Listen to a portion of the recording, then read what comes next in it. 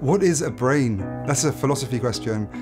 It makes decisions about how fast you should be breathing right now, but it also makes decisions that are much more profound, like what shall I do with my life? I'm Tim Behrens, I'm a neuroscientist. I'm interested in understanding the computations, the algorithms that the brain uses uh, to control our behavior. How neurons represent the world around us, learn about it, and make decisions in the world. I think very broadly, there are two areas of how our brain controls our behavior that we roughly understand. There's how our brain maps out physical space, and there's how our brain chooses to repeat behaviors that have been good in the past.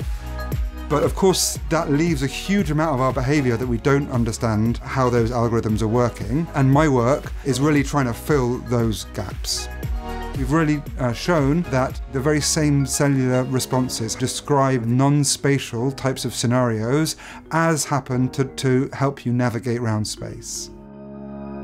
When you make a coffee, you have a sequence of actions that you know you have to achieve in order to get the coffee into the cup. Those kinds of models of the causes and outcomes, we just need those in order to guide our everyday behaviors. And what I'm interested in is how those kinds of models of the world are represented by cells in your brain.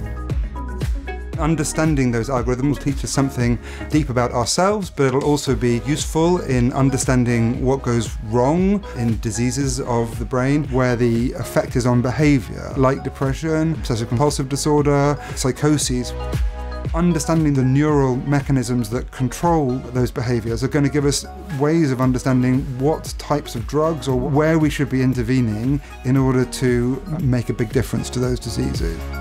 It'll also be useful because the brain has algorithms in it that we don't understand and uh, that are better than the algorithms that are used in current artificial intelligence uh, systems. And so uh, we hope that by understanding some of those algorithms that happen in our brain, we'll be able to help on both of those two fronts.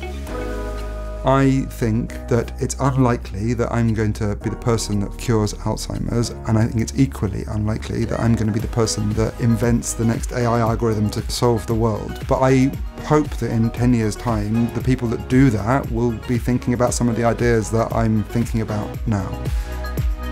There have been in 20 years a few times when I've sat up and gone, wow, and those times are the reasons that you're a scientist.